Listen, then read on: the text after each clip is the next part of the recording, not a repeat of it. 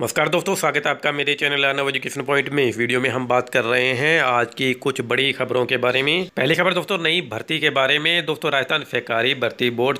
चालीस पदों पर नई भर्ती आयोजित कर रहा है और मई के अंतिम सप्ताह में इसकी विज्ञप्ति जारी होगी अगली खबर दोस्तों फायरमैन भर्ती के रिजल्ट का इंतजार कर रहे अभ्यर्थियों को इसी वीक में यानी आने वाले दो तीन दिन में बड़ी खुशखबरी मिल सकती है अगली खबर दोस्तों रीट दो परीक्षा का सिलेबस जारी कर दिया गया है इसके अलावा इसके आवेदन अठारह अप्रैल से शुरू हो रहे हैं हैं नेक्स्ट न्यूज दोस्तों कल वीडियो प्री का रिजल्ट घोषित हो गया है और इसके बाद में इसके रिजल्ट को लेकर विवाद भी पैदा हो गया है आपको बताऊ दोस्तों मुख्य परीक्षा के लिए एक लाख पचहत्तर हजार अभ्यर्थी पात्र घोषित किए गए हैं छात्र नेता असलम चौबदार का कहना है की वीडियो के परिणाम में नॉन टीएफपी के पैंतीस गुना पास किए जबकि टीएफपी के आठ गुना खैर दोस्तों इस मुद्दे पर हम बाद में चर्चा करेंगे इसके अलावा दोस्तों उपेन्द्र यादव ने कहा है की